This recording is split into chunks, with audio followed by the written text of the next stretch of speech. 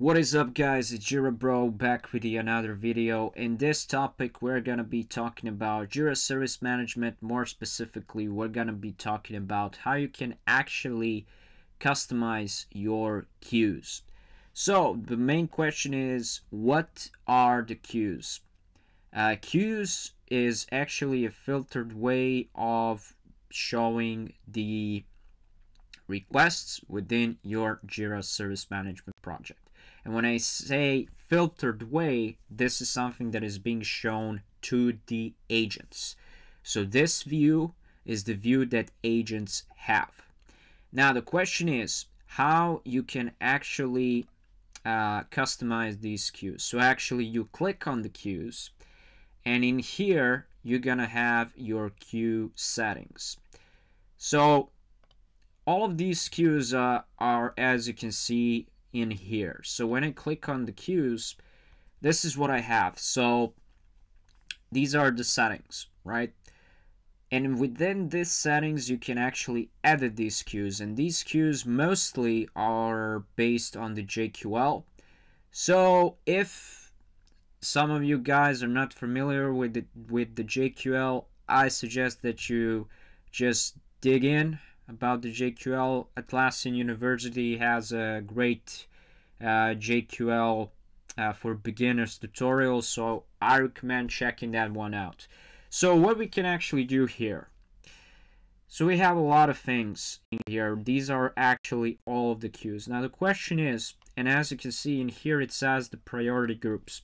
So this is actually pretty great because within one service management uh, project you can actually have let's say multiple departments that are actually taking on uh, the uh, the requests right? And for these priority groups you can create the priority groups and you can actually and they will appear right here. So this is what it says like keep your agents focused on business critical queues by customizing priority groups for individual teams in queue settings but we're still in here. So what we can actually do with this queue. So let's say this open changes, right? If I edit this queue right here.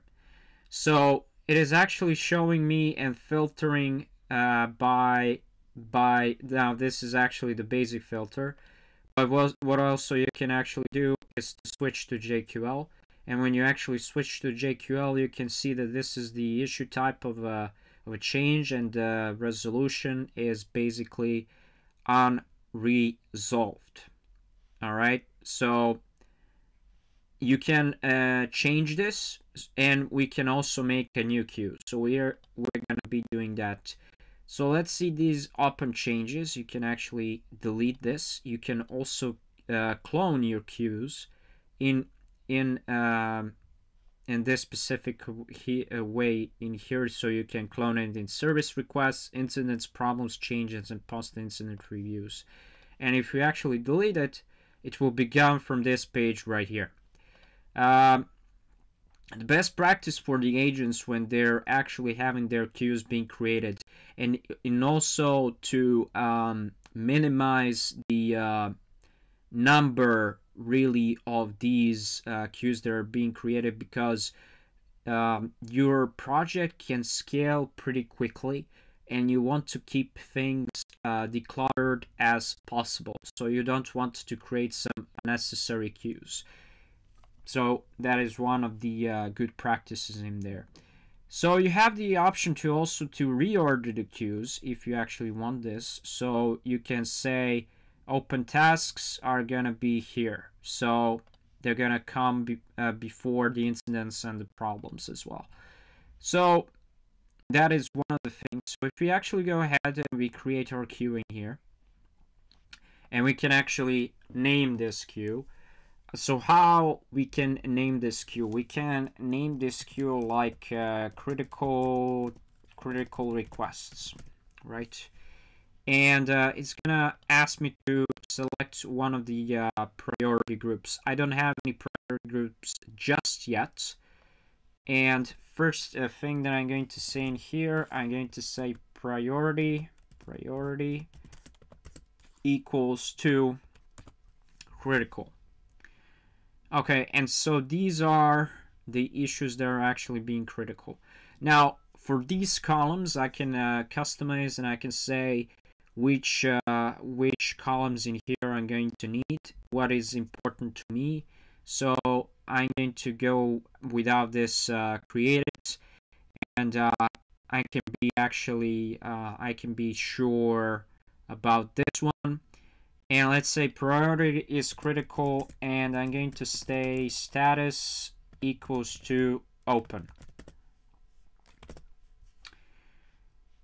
All right. Also, so there are there are a lot of issues in here that uh, my team needs to take care of. And when I create this queue, it's gonna be right here. So it's gonna be showing this queue right here, and it's saying 162. Uh, the thing is to know that um, in the in the queue, the maximum number of issues that you can actually have is 300. So keep that in mind as well. All right, so the another thing that we actually can do in here, so we have these queue settings in here. So I can create priority groups in here. So this could be for the groups uh, that I want to actually have. Now let's say I'm gonna I'm gonna go like critical critical uh, requests. Let's say for example I'm gonna go and click on create. And I have the uh, critical requests. I can go for queues in here I can go for editing this queue and now I can select the pri uh, priority group save this and it's gonna be appearing right here so it is called the critical requests yeah but I can do something like for example critical requests and I can go like open. I'm gonna hit save. So now I know when I have these critical requests right here and I know that like a lot of them are actually being open and uh, as uh, as much as as agents that we have so for free agents it's uh, free agents is actually the free plan everything above is jumping towards the uh, is jumping towards the standard plan. But the thing is, um, to actually know and to be um, sure about this, this is uh, the way how you can actually um, manage your queues. And it's really important to uh, it's really important to really have these um, uh, these queues in here. And what is also important for your agents is to actually star these um, these uh, queues because it's gonna like I said it's gonna create like less less things in here. So for example this one. So cr critical requests and I have and I have it in here right? So if I go here now what it happens if I delete the queue, what is going to happen, this also is going to be gone. But if I start this, and I have this for the priority group, so it's going to be in here. But if I actually start this, it's going to be appearing, it's going to be appearing right here.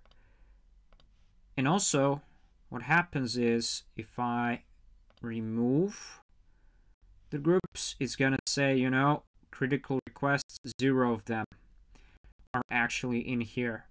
And what if I also do is I can now delete this group in here. And now it's to be starred but it's going to be appearing right here. So the visibility is kind of better when you have it actually starting here. But if you have multiple groups and not having like one group of these things it's um, it's really handful to really group them in uh, one place so that is everything that I had to talk about the uh, queues and the uh, Jira Service Management and how you can actually um, manage your queues. Uh, so in six days I will be in Barcelona for Teams 24. So that is going to be one big hell of a ride. It's gonna be great. Uh, I'm looking forward to meet a lot of people there. So whoever is coming to Teams 24, I will be there as well, and can't wait for the event. Of course, one more thing, don't forget to like, share, and subscribe to the channel. Thank you everyone for watching. See you in the next video. Bye bye.